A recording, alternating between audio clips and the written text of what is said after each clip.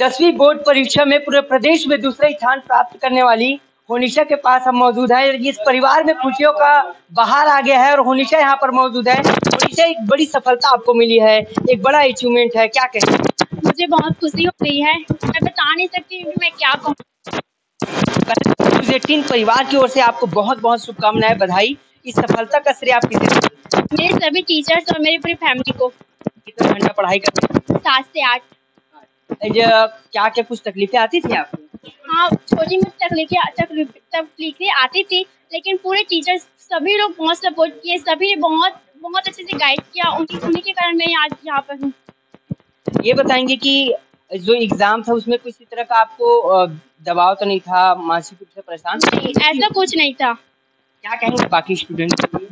मैं इतना कहूँगी कि वो भी मतलब पढ़ाई करे अच्छे से करे सोशल मीडिया मोबाइल मोबाइल से दूर ही रखे। जब रिज़ल्ट आया तब आप उससे पहले क्या सोच रहे थे और रिज़ल्ट आने के बाद क्या? रिज़ल्ट आया तो मैं मतलब कुछ ही नहीं सोच रही थी। मतलब सोचे भी नहीं थे कि रैंक टू आएगा। आपके स्कूल का नाम?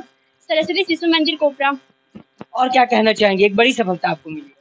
मुझे कुछ नहीं। खुशी परिवार आ, मेरी दीदी का एक लाइन था शिक्षा ऐसे लो कि आप दूसरों को बता सको। पापा क्या करते हैं? किसान है। तो किसान की बेटी है होनिशा, जो आज पूरे प्रदेश में दूसरे स्थान प्राप्त कर न केवल अपने गाँव का, बल्कि पूरे प्रदेश का नाम रोशन की है, अपने माता पिता का नाम रोशन की है, और जो बड़ा संदेश इन्होंने दिया है वो काफ़ी है।